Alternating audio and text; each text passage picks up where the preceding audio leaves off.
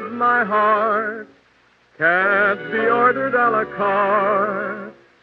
I wonder if she will be always a fantasy.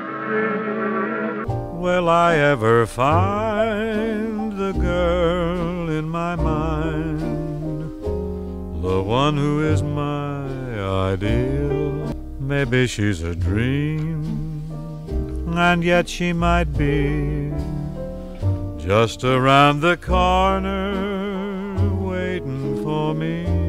Will I recognize a light in her eye that no other eyes reveal? Or will I pass her by and never even know that she is my